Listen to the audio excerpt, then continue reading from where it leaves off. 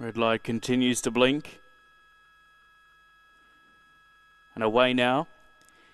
Is he out? Won the start on the outside, landed a length in front of Max IM in second, followed by Jerity third. It's Showtime fourth, and Luna Lee is last.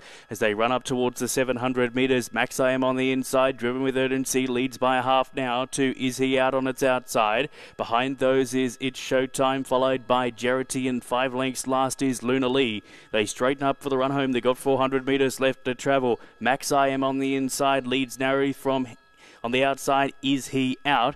Sneaking up the inside is Jerity looking for a passage, followed then by It's Showtime and six lengths. Last is Luna Lee. They're right across the track at the 200 metres. Is he out? Has a narrow lead from Jerity up its inside. Is he out with Jerity chiming in three deep as It's Showtime? They come down towards the line. It's going to be a head bobber and a close one too. Is he out? And Jerity went over the line locked together, followed by It's Showtime third, followed by Max IM, and last time was was Luna Lee.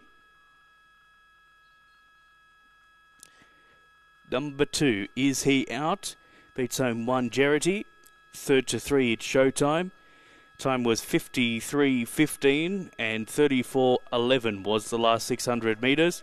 A short head by a short neck. Short head by a short neck, 2135.